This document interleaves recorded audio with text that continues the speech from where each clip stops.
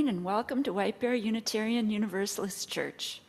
We are delighted to have you here, both, in, both those in this space and those attending virtually.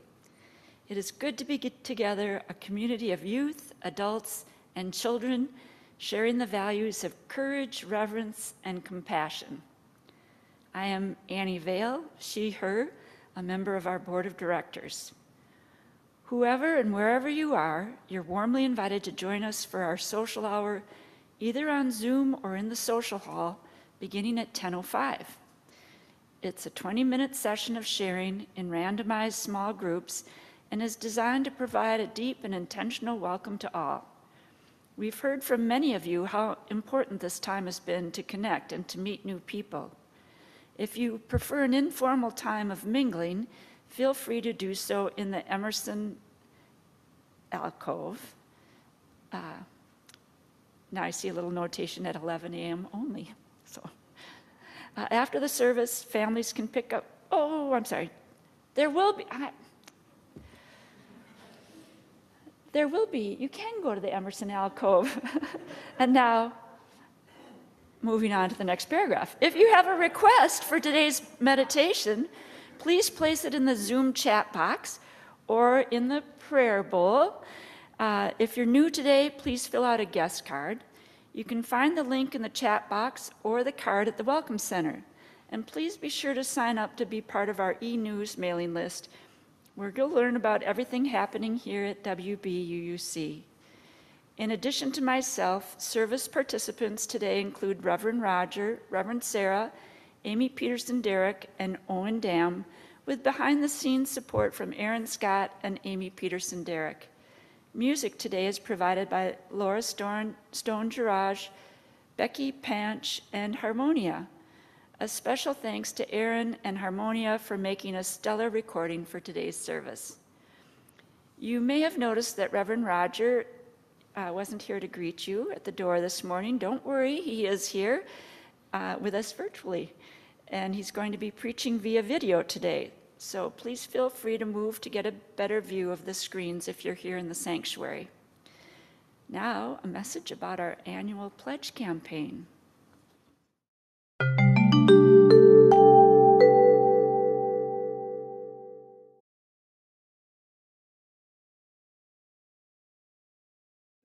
We joined the church during the pandemic and during the transition to a new senior pastor. We learned about the history of the church from Reverend Jack during the membership classes, and he helped us feel more a part of the congregation.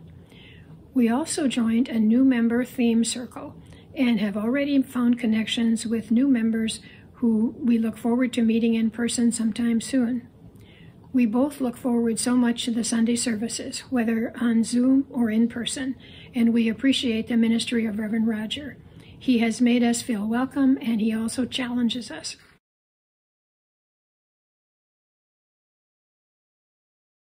Last year, I believe that I said that my reason for pledging was rooted in my history of learning how to think about the world through our church.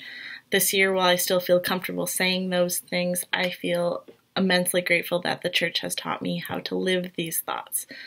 Um, how to show up in community, how to expand my de- definition of love through my actions, how to have an impact, and how to get through two years of a global pandemic and still and still have hope.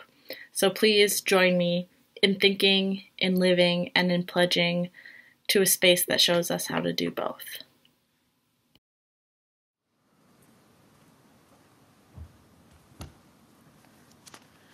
Once a year in March, we encourage you to try your best to predict your gift to the church in the next fiscal year.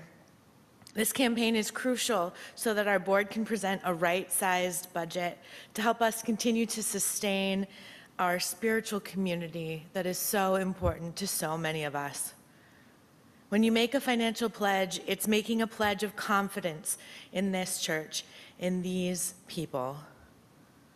As of Friday afternoon, we are at 59% of our pledge goal, with 182 households pledging $544,232. 54% of those households are increasing their pledge from last year.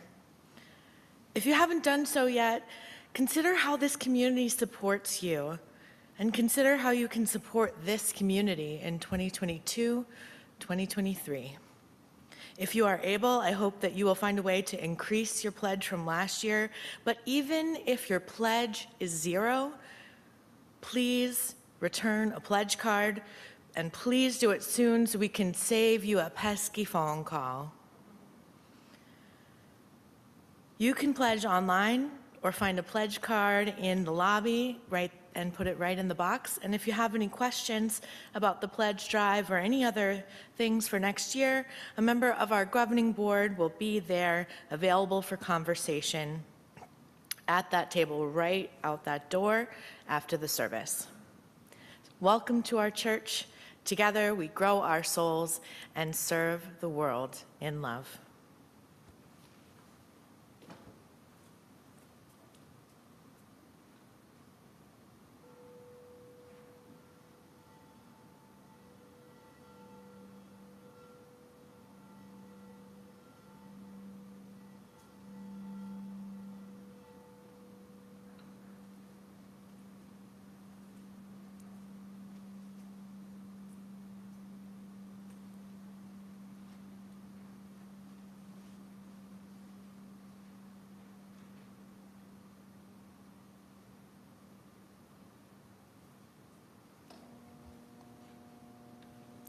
Come in. Come into this place which we make holy by our presence. Come in with all your vulnerabilities and strengths, fears and anxieties, loves and hopes, for here you need not hide, nor pretend, nor be anything other than who you are and who you are called to be. Come into this place where we are touched, where we can touch and be touched, heal and be healed, forgive and be forgiven come into this place where the ordinary is sanctified, the human is celebrated, the compassionate is expected. Come into this place. Together we make it a holy place and welcome. Before we move on, I just want to acknowledge there's a very loud buzz. We know it's happening, we don't know why, so can't fix it. Hopefully, it will pass soon and you will continue enjoying the service with Owen Dam lighting our chalice. In the summer, I work as a lifeguard at a YMCA day camp. My first time guarding, I was extremely anxious. I was so worried about accidentally letting a camper drown that I was covering both my zone and the zones of my fellow guards. This inadvertently created a more dangerous environment as I was not completely focused on my zone. My boss noticed this and pulled me aside to inform me that I needed to trust my fellow guards and only focus on my zone. This was a major stress reliever and made it feel like a weight had been lifted off my shoulders. It turns out only having to cover one area is a lot less stressful than having to cover the entire waterfront. We are lighting this chalice today for putting trust in others, because who knows, it could make your day significantly less stressful.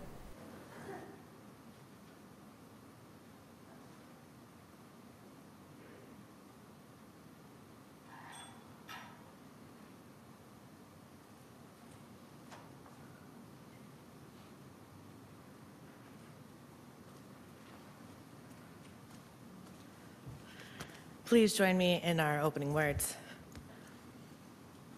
Love is the spirit of this church, and service is its law.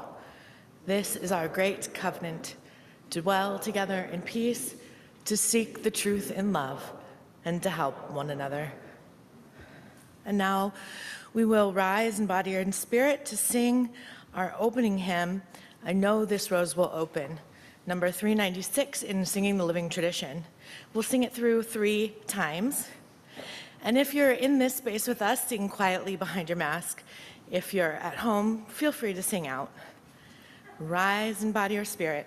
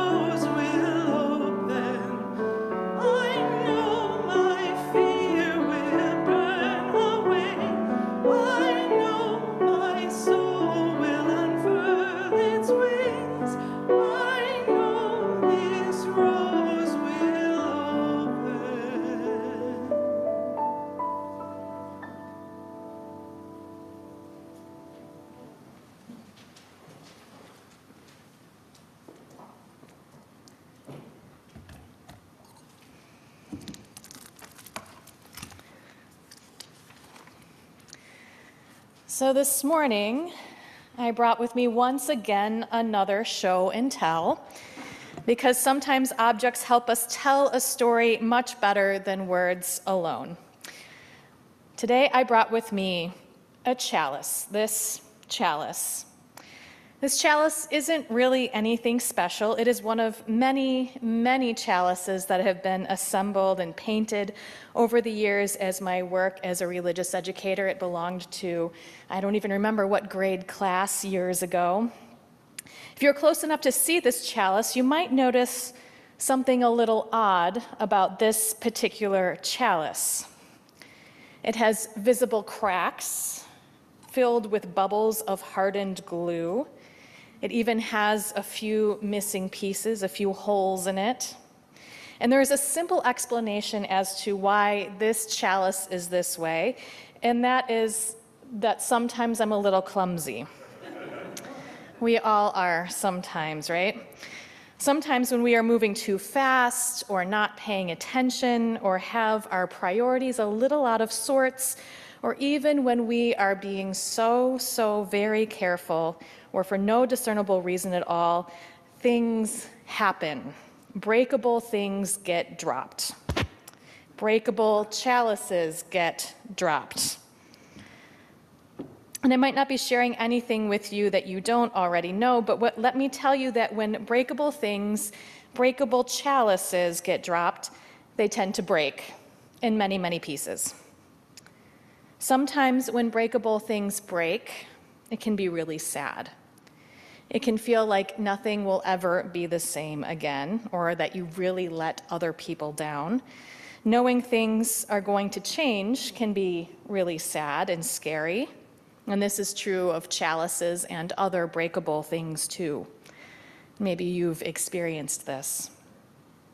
Sometimes I have found that when breakable things break, it can be tempting to try to hide it away or hold it and fix it all alone, trying to mend what is broken back together by yourself, piece by little, little, little piece.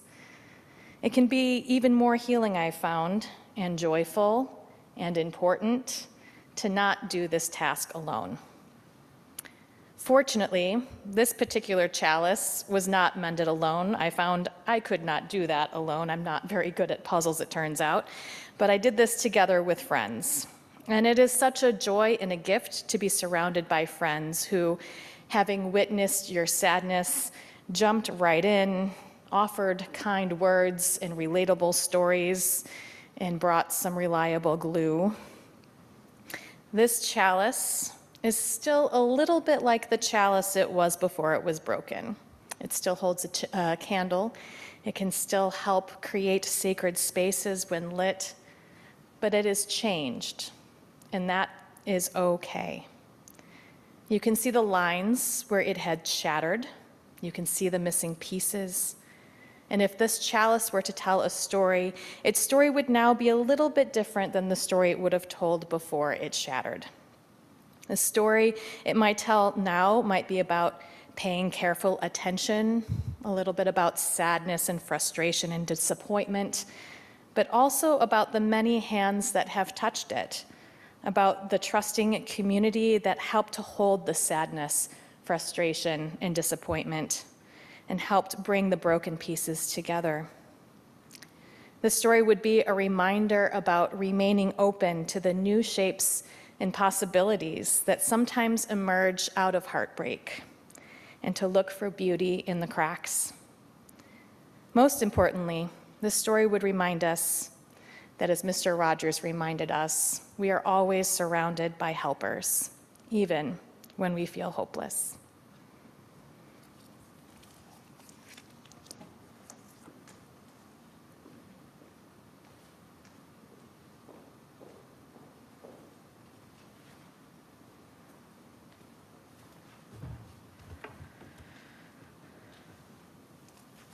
Join me in the spirit of prayer or meditation. Find a comfortable place for your body, allowing yourself a moment of restful relaxation.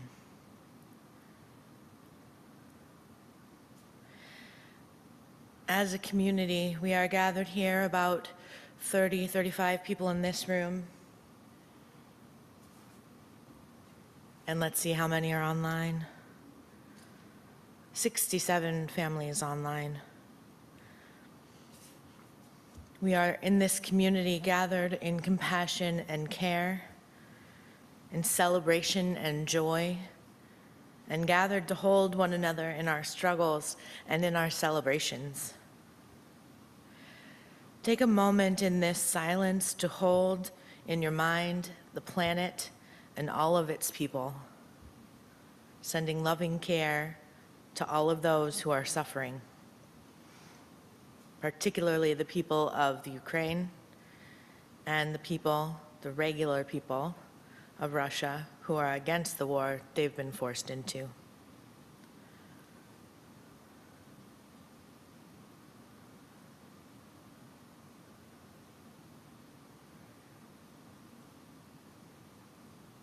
Bring to mind those in our nation who are striving to maintain our democracy, particularly our new Supreme Court nominee.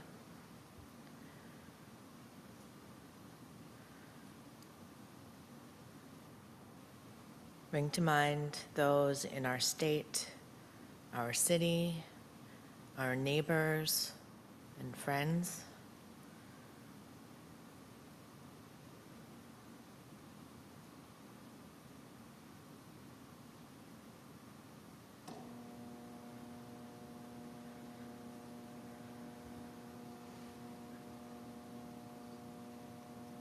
Bring to mind these members of our community.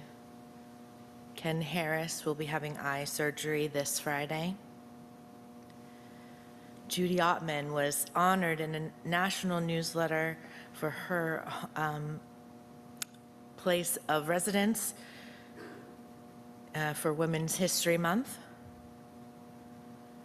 Robin Lawler and family, as her father Bob Lawler passed away on March 20th from Alzheimer's.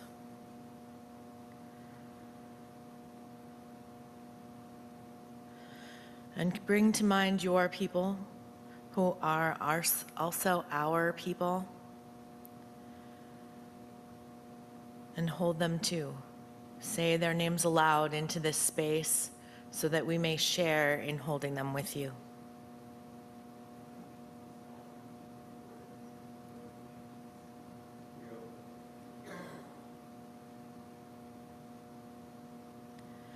We hold them all in love.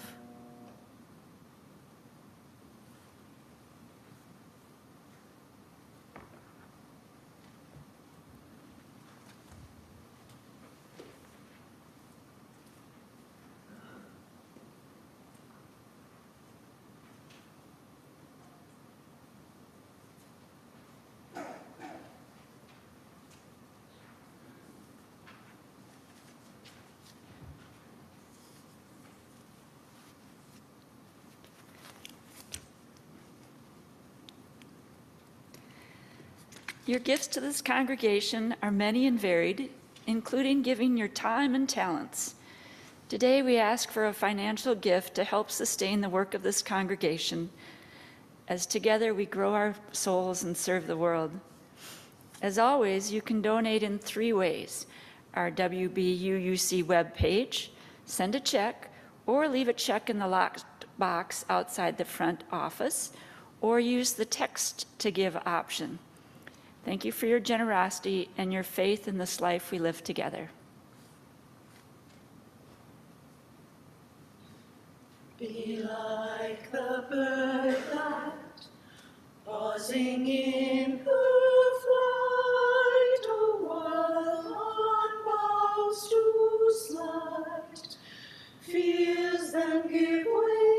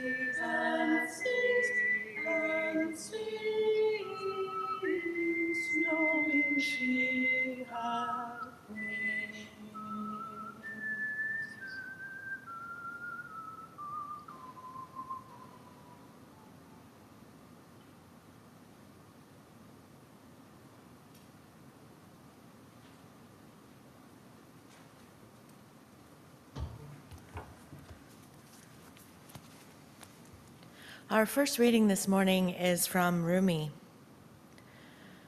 You were born with potential. You were born with goodness and trust. You were born with ideals and dreams. You were born with greatness. You were born with wings. You are not meant for crawling, so don't.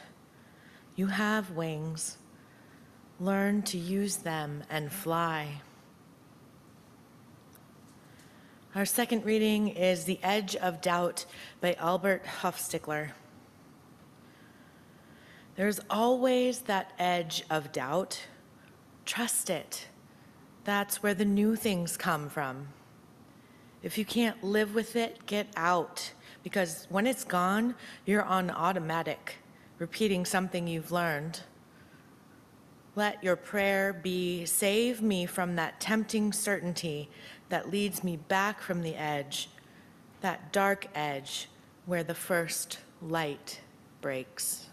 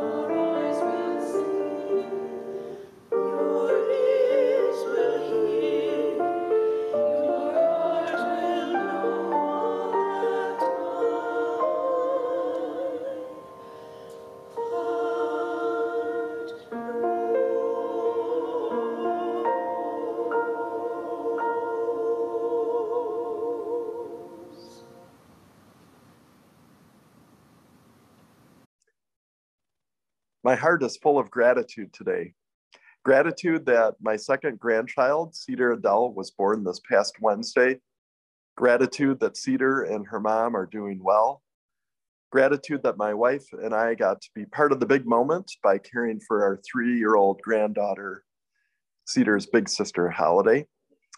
And gratitude to my colleagues here at White Bear UU Church who have made it possible for me to work remotely so I could be part of this event in my daughter's family's life.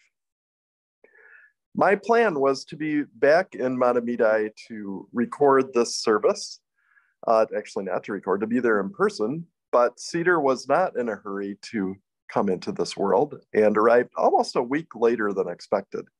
So I am pre-recording this sermon in the UU Church of Columbus, Indiana, a church that, as you may notice by the backdrop, is shared with a Jewish synagogue.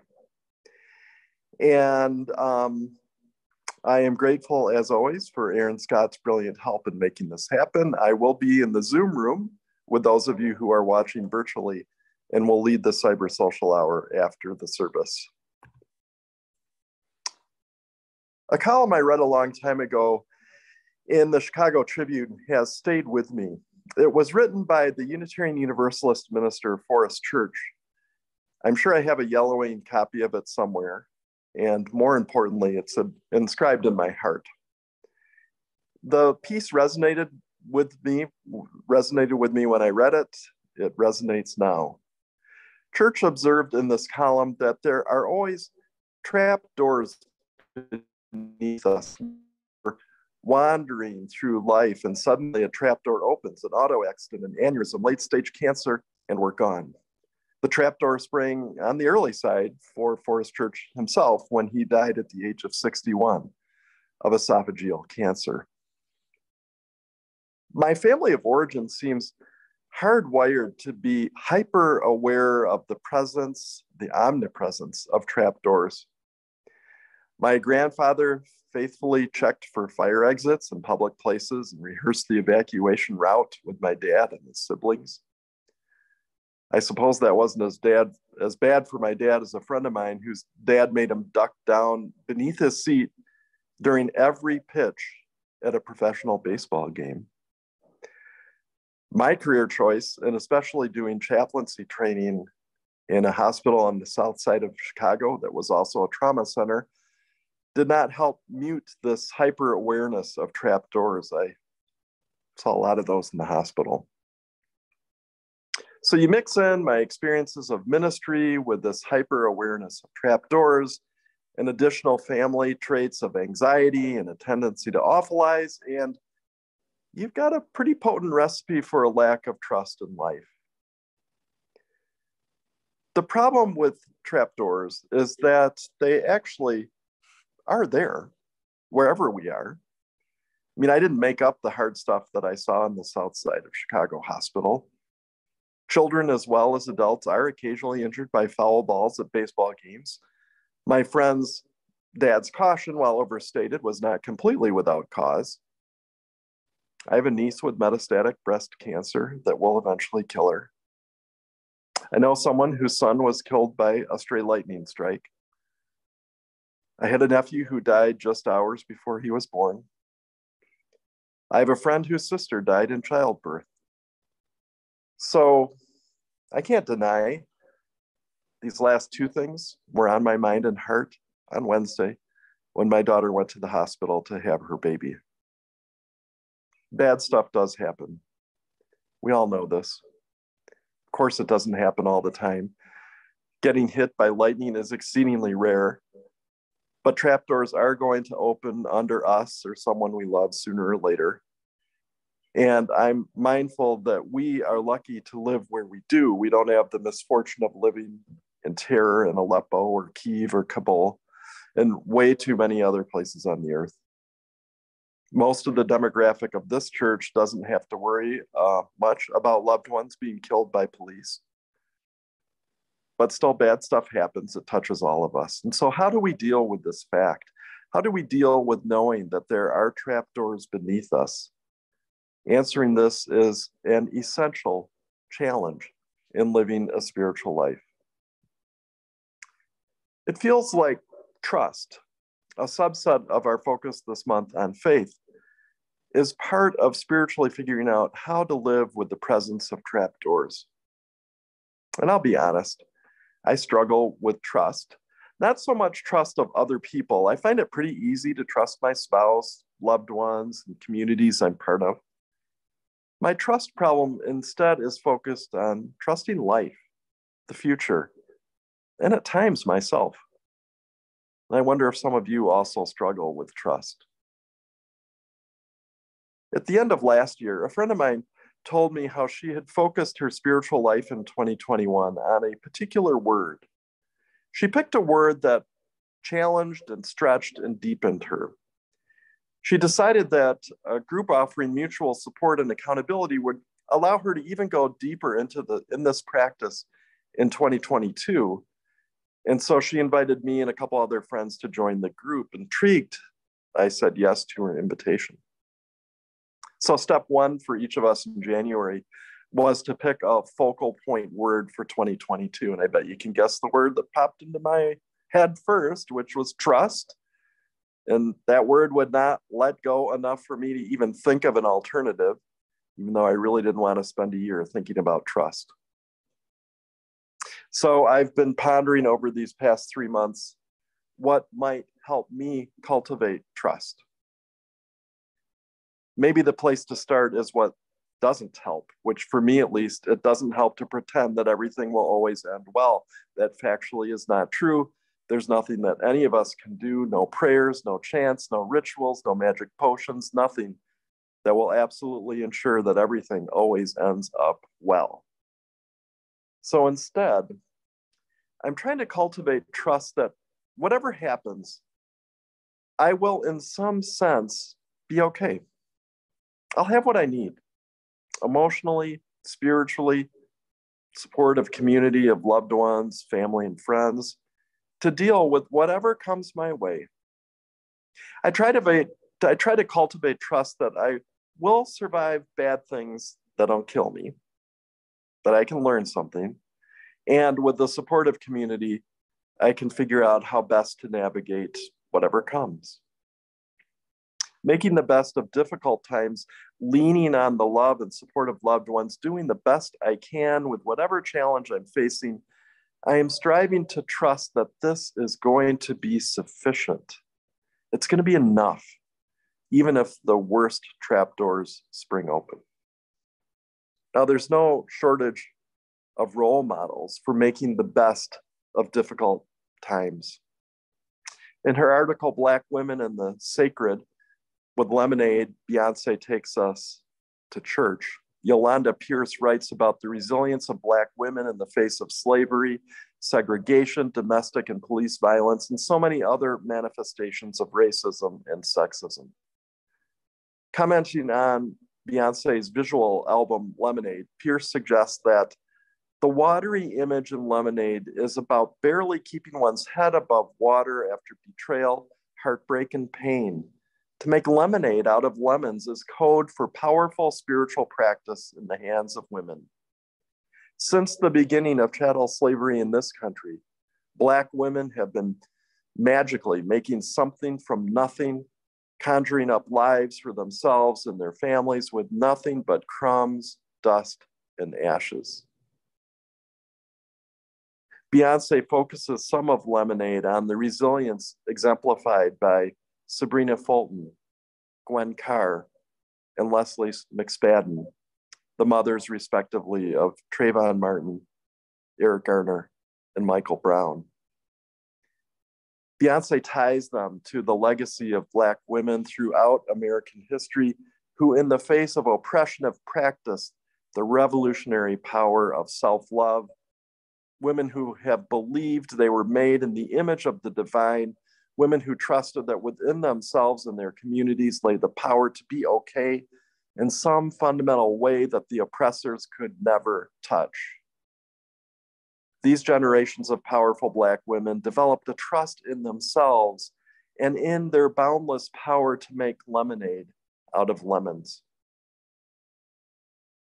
I picture the long lineage of powerful Black women from Harriet Tubman and Sojourner Truth to Rosa Parks and Judge Ketanji Brown Jackson, embodying lines from the poem, the Rumi poem that we heard, embodying these lines in the face of oppression and doubters.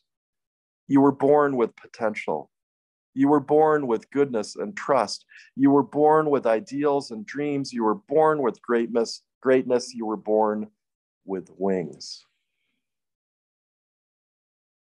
in the face of so many hurdles and in spite of so many people telling them all they could do was crawl, these women taught themselves to fly. With so many privileges and so many fewer hurdles, surely I could develop enough trust to try to fly in my life. And here's where a lack of trust in life and in my ability to handle life's lemons makes a palpable difference. My lack of trust causes me to play it safe. I don't trust that I was born with wings. I get stuck in ruts of caution and timidity. The familiar is easy, so I stick to it. I go into automatic and I don't stray near the edge of doubt. Ironically, in doing so, I don't eliminate all or even most of the trapdoors beneath me. Even if I somehow engineered a bubble, I wouldn't be able to get rid of all of the trapdoors. And so, in this year of thinking about trust, I'm going to meditate deeply on the prayer that was in the second reading today. Save me from that tempting certainty that leads me back from the edge, that dark edge where the first light breaks. Save me from that tempting certainty that leads me back from the edge, that dark edge where the first light breaks. Forrest Church ended that long ago column with a story about walking along with his son one day. His son is nearly hit by a car in an intersection. On the next block, his son resumes a passionate activity of his as if nothing at all had happened. He jumps up to touch the leaves on trees hanging over the sidewalk. Maybe this is the lesson of trapdoors. Live boldly despite their presence. Jump up to touch the leaves anyway. Give an extra hug to that beautiful new baby and her mother who just made it through a valley where the shadow of death was more palpably present. Trusting more in life and getting near the edge doesn't mean that I need to go skydiving. That is not happening but it does impact how I live my life in big, but especially in small ways. One more piece of wisdom that I found in these months of contemplating trust, a piece of wisdom that I'm trying to let guide me. This one comes from Parker Palmer. The way will open. Proceed as the way opens. The way will open.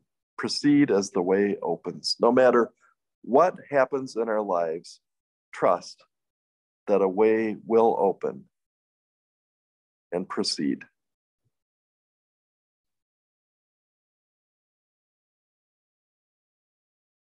I invite you now to, in the room, rise in body or in spirit and join in singing quietly our closing hymn number 1008 when our heart is in a holy place. And those of you of you at home, I invite to join me in singing really loudly.